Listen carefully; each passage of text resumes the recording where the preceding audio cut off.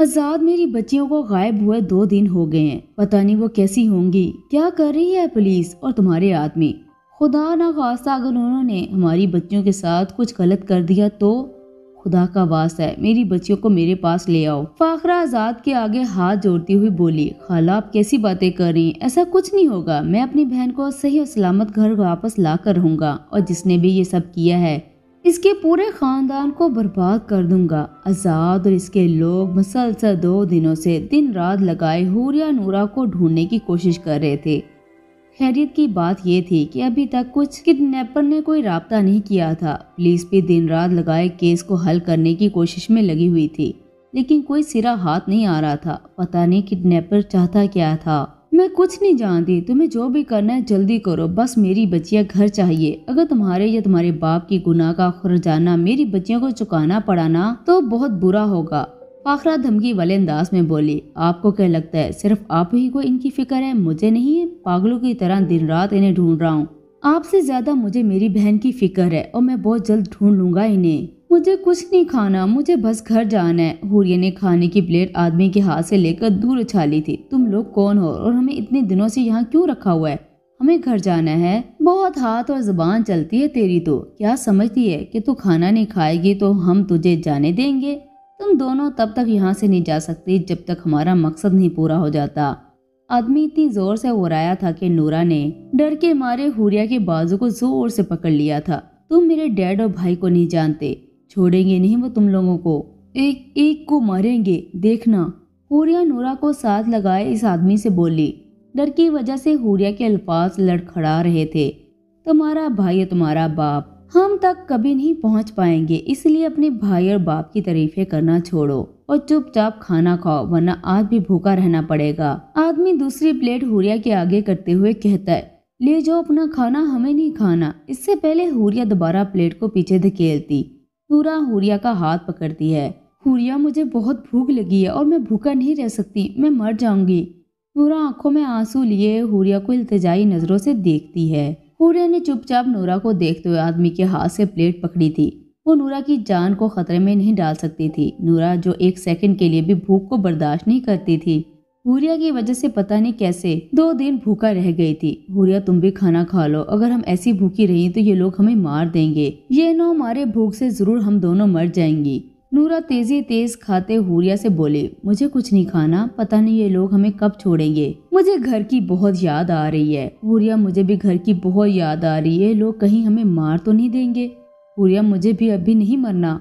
नूरा की आँखों से एक बार फिर आँसू निकल आए थे। नूरा, ये लोग हमें कुछ नहीं करेंगे। आज़ाद भाई है ना, वो हमें जल्द यहाँ से लेकर जाएँगे। तुम बस खुदा से दुआ करो कि वो जल्द हम तक पहुँच जाए। हुरिया नूरा को गले से लगाए हौसला देते हुए बोल दी हमाद कोई इन्फॉर्मेशन मिली? नो सर कोई इन्फॉर्मेशन नहीं मिली। सर, दो दिन से मुसलसल इन दोनों लड़कियों के फ़ोन ट्रेस करने की कोशिश कर रहे हैं। लेकिन कोई फ़ायदा नहीं हुआ सर जिसने भी ये काम किया, बहुत होशियारी से किया। एक भी ऐसा सबूत नहीं छोड़ा जिससे हम इन तक पहुँच सके। मुजरम कितना भी होशियार क्यों ना हो, पुलिस की नज़रों से नहीं बच सकता। मुझे भी उम्मीद है, इस मुजरम ने भी कोई ना कोई गलती ज़रूर की होगी। तुम फ़ोन ट्रेस करने की कोशिश करते रहो, कोई ना कोई सुराग ज़रूर मिलेगा। Yes, sir. ओके, मैं केस के सिलसिले में कमिश्नर साहब से मिलने जा रहा हूँ, जो भी अपडेट हुई मुझे कॉल करके बता देना। अयान ऑर्डर देते हुए अपनी अपनी कैब और गाड़ी की चाबी उठाते हुए अपने केबन से बाहर निकल गया था। हाँ ऐसी क्या बात करनी है तुमने, जो मोबाइल पर नहीं हो सकती? अजान अपने सामने बैठे हुए वजूद से मुखातब होता है। तुम्हें पता है ना, हमारा ऐसा मिलना तुम्हारे लिए कितना खतरनाक हो सकता है। आप इसकी फ़िक्र मत करें, किसी को भी हमारे बारे में पता नहीं चलेगा। आज़ाद की बहन लापता होने से इसने सिक्योरिटी बहुत टाइट कर दी है और हर एक आदमी पर बहुत नज़र रखी जा रही है, इसलिए मोबाइल पर बात करना रिस्की हो जाता। आज़ाद इसका बाप दुबई वाली पार्टी से जो मीटिंग आज करने वाला था, वो कैंसिल हो गई है। इसका मतलब छह सात दिन तक ये मीटिंग नहीं हो सकती। अजान से हमने बैठे वजूद से मुखातब हुआ था। शायद इससे भी ज़्यादा दिन लग सकते हैं। इससे ज़्यादा सुनहरी मौका आपको नहीं मिल सकता। अपना प्लान मुकम्मल करने के लिए। अच्छा अब मैं चलता हूँ। दो दिन मजीद आपसे कोई बात नहीं हो पाएगी। अजान के सामने बैठा हुआ इंसान अपनी बात कहकर सर पर कैप डाले। एक सेकंड में अजान की नज़रों से ओझल हुआ था। आज़ाद मलक अब तुम्हारी ज़िंदगी में ऐसा तूफ़ान आएगा जो तुम्हारी पूरी ज़िंदगी बदल कर रख देगा। जस्ट वेट एंड वॉच अजान अपने आप से मुखातब हुआ था और एक जानदार मुस्कुराहट ने अजान के होंठों को छुआ था। ये मुस्कुराहट आने वाले खतरे की अलामत थी जो मलक हौस में लाक होने वाला था। हमें कहाँ लेकर जा रहे हैं? और ये हमारी आँखों पर पट्टी क्यों बांधी है? छोड़ो मुझे। हुरिया अपने बाजुओं को आदमी के हाथ से छड़वाने की कोशिश में बोली, हुरिया, कहीं ये हमें मारने के लिए तो नहीं लेकर जा रहे? हमें फांसी तो नहीं लगाने वाले? नहीं नहीं, मैं इतनी जल्दी नहीं मरना चाहती। देखिए भाई साहब, आपको हमें मार कर क्या हासिल होगा? उल्टा गुनाह ही मिलेगा। प्लीज़ भाई साहब, हमें छोड़ दें। अभी तो मैंने ठीक से दुनिया भी नहीं देखी। अभी तो मेरी शादी भी नहीं हुई। प्लीज़ हमें छोड़ दे। नूरा मरने का सोचकर जो मुँह में आता था, घबराहट में बोलती जा रही थी एक लड़की, चुप, बिल्कुल चुप। दिमाग खराब करके रख दिया दोनों ने। अब दोनों में से किसी की आवाज़ भी आई तो अभी की अभी ये बंदूक की गोली तुम्हारे दिमाग में डाल दूँगा। आदमी नूरा के सर पर बंदूक रखे बोला, नहीं प्लीज़ मुझे मारना मत, मैं कुछ नहीं बोलूँगी। गन मत चलाना। चलो जल्दी गाड़ी निकालो। इन दोनों को यहाँ से ले जाने का हुक्म मिला है। आदमी दोनों को बाहर ले जाकर जाते हुए अपने साथ वाले आदमी से बोला पूरिया ये अब हम दोनों को ज़िंदा नहीं छोड़ेंगे, ये हमें मार देंगे। नूरा, तुम्हें कैसे पता ये लोग हमें मारने वाले हैं? देखो, ये लोग ऐसा नहीं करेंगे। पूरिया नूरा की आवाज़ में भारीपन महसूस किए, नूरा को हौसला देने लगी। लेकिन हुरिया को अंदर ही खुद से भी डर लग रहा था, मगर नूरा की हालत देखते हुए ज़ाहिर नहीं कर रही थी। मैंने फ़िल्मों में देखा है गैंगस्टर लोग ऐसी आँखों पर पट्टी बाँध कर सुनसान जगह ले जाते हैं और फिर गोली मार देते हैं। नूरा, इस वक्त मरने की बातें करना बंद कर दो। खुद भी डर रही हो, मुझे भी डरा रही हो। नूरा हुरिया की बात का जवाब देती। एकदम से गाड़ी रुकी थी। जाओ तुम दोनों आज़ाद हो। आदमी नूरा हुरिया को गाड़ी से नीचे उतारता इनके हाथों की रस्सियाँ को खोले बोला। दोनों को सड़क के बीचों बीच छोड़े गाड़ी फुल स्पीड से भगा कर ले गया था। हुरिया नूरा जल्दी से अपनी आँखों से पट्टी हटाकर अपने चारों अतराफ देखती हैं, जहाँ दूर दूर तक कोई गाड़ी नज़र नहीं आ रही थी। हुरिया, उन्होंने हमें ज़िंदा छोड़ दिया। नूरा खुशी के मारे हुरिया के गले मिलती है। इतना खुश होने की ज़रूरत नहीं है। ये सोचे अब हम यहाँ से घर कैसे जाएँगे? यहाँ तो कोई भी नज़र नहीं आ रहा। जो हमें हमारे घर छोड़ दे। हुरिया नूरा को खुद से दूर करते हुए बोली, इस आदमी का क्या जाता है? अगर हमें छोड़ने ही था तो पूरे घर तक छोड़ देता। वो सुनसान सड़क के बीच छोड़कर चला गया है। हाँ वो तो तुम्हारे मामू का बेटा था ना, जो किडनैप करने के बाद तुम्हें खुद घर तक छोड़ने जाता और डैड से बोलता, ये ले आपकी बेटियाँ। हूरिया नूरा की अहमक बातों को सुनते बोली, चलो आगे चलते हैं, शायद कोई मदद मिल जाए। हूरिया नूरा का हाथ पकड़ते हुए आगे की तरफ़ चल दी। हूरिया वो देखो गाड़ी आ रही है, हम इनसे मदद मांगते हैं। नूरा पीछे से आती हुई गाड़ी को देखकर बोली, नहीं, हम किसी से मदद नहीं लें। अभी तो एक मुसीबत से निकले हैं, अब किसी और मुसीबत में नहीं फंसना चाहती। तुम चुपचाप मेरे साथ चलो। मुझे लगता है हम घर की तरफ़ ही जा रहे हैं। तुम्हें कैसे पता हम घर के रास्ते पर ही जा रहे हैं? पता नहीं, मुझे ये जगह जानी पहचानी सी लग रही है। अगर अंधेरा ना होता तो जल्दी पता लग जाता। हुरिया सड़क की साइड पर चलते हुए इधर उधर देख कर बोली, रुक क्यों गई हो? आगे जाकर देखते हैं, शायद मेरा अंदाज़ा ठीक हो। हुरिया अपने पीछे खड़ी देख के नूरा से बोली, मैडम, आपको कहीं जाना तो हम छोड़ देंगे। अभी मुश्किल से दो कदम ही चले कि गाड़ी में मौजूद तीन लड़के। हुरिया नूरा के पास गाड़ी रोकते हुए बोले। हुरिया नूरा का हाथ पकड़े तेज़ी से चलने लगी थी। ओ मैडम, हमारी बात तो सुनो। आपको जहाँ जाना है, हम छोड़ देंगे। इतनी रात को आप अकेले कहाँ जा सकेंगी?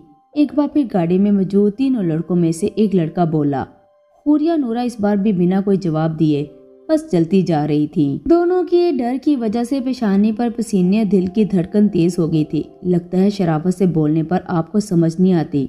हमने बोला, ना, हम आपकी मंजिल तक छोड़ देंगे।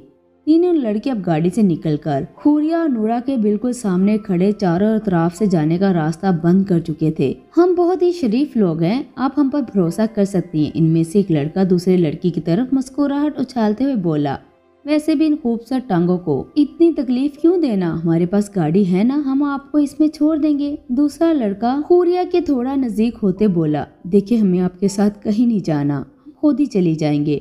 आप प्लीज़ मेहरबानी करके यहाँ से चले जाएँ।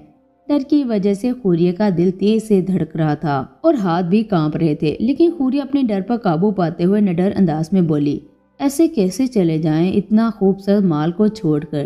तीसरा लड़का नूरा के पीछे जाते हुए बोला, नूरा डरकर खूरिया के करीब हुई थी। देखिए मैंने आपसे बोला ना, हमें आपकी मदद की ज़रूरत नहीं है। आपको मेरी बात समझ नहीं आ रही?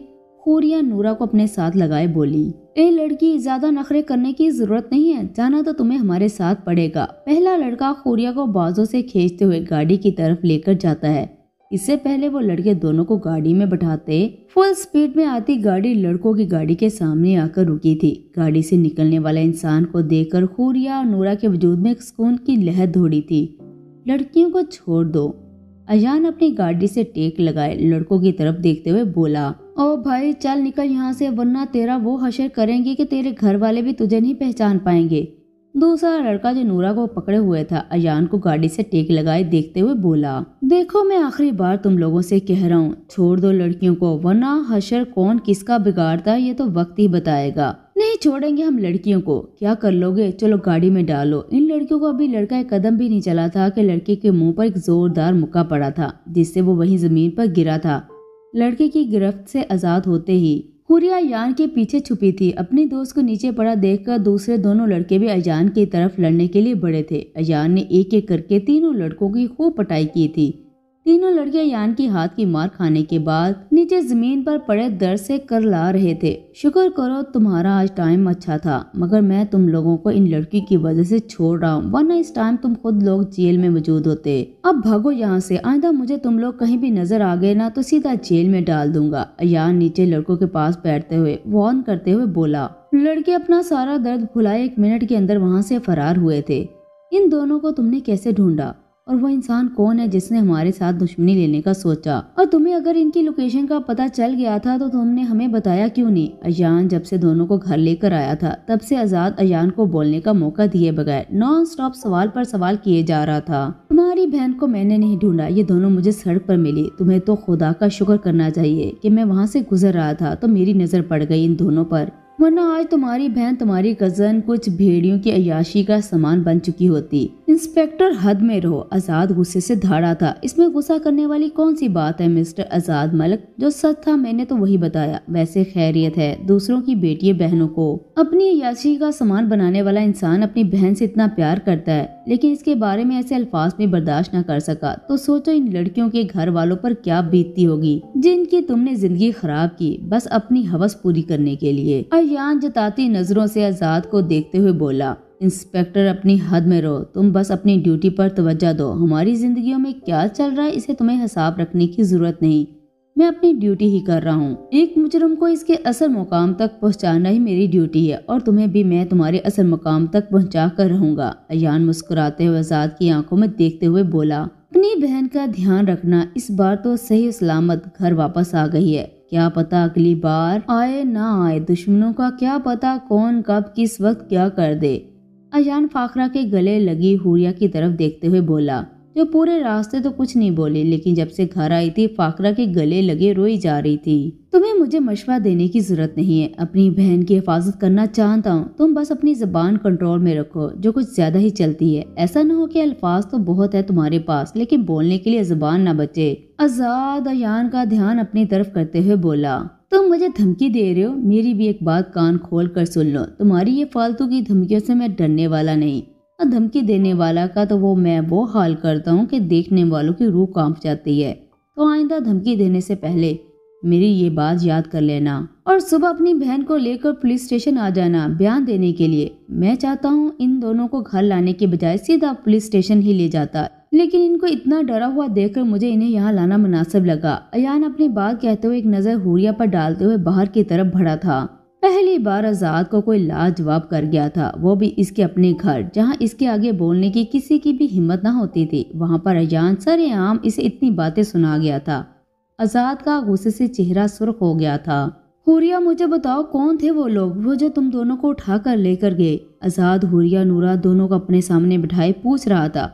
असाद और भी बच्चियाँ बहुत डरी हुई हैं। अभी इन्हें आराम करने दो। कल सुबह पूछ लेना। जो पूछना है। हुरिया कोई जवाब देती फाखरा बीच में बोली थी। नहीं खाला, मैं भी जानना चाहता हूँ कि किसकी इतनी हिम्मत हो गई कि हमारे घर की बेटियों को उठाकर ले गया। हमारे नाक के नीचे से। बताओ हुरिया कौन थे वो?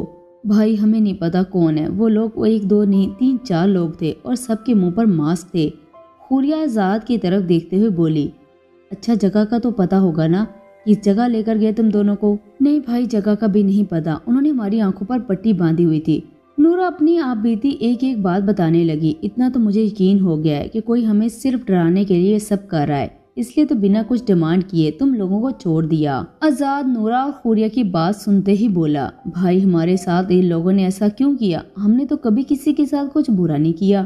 तो फिर हमारे साथ ऐसा क्यों हुआ? आज़ाद से पूछते हुए खूरिया की आँखें भर आई। दो दिन दोनों ने कैसे गुजारे थे, ये सब बस दोनों ही जानती थी। बिना कुछ खाए हर पल खौफ के साथ गुजरा था दोनों ने। खूरिया मेरी गुड़िया चुप हो जाओ। जिसने भी तुम्हारे साथ ऐसा किया, छोड़ूँगा नहीं मैं इसे। आज़ाद खूरिया के पास बैठा इसे अपने सीने से लगाए बोला, चलो जाओ, तुम दोनों आराम करो। और तुम्हारी आँखों में से एक आँसू देखा ना तो इससे बुरा कोई नहीं होगा। खूरिया के होंठों पर हल्की सी मुस्कुराहट आई थी, क्योंकि खूरिया के हर बार रोने पर आज़ाद इसे यही धमकी देता था, लेकिन कहता कुछ भी नहीं था। तो दोस्तों, आज का एपिसोड आपको कैसा लगा? अच्छा लगा तो वीडियो को लाइक करें, दोस्तों के साथ शेयर करें, अपना ख्याल रखें। अल्लाह हाफिज़।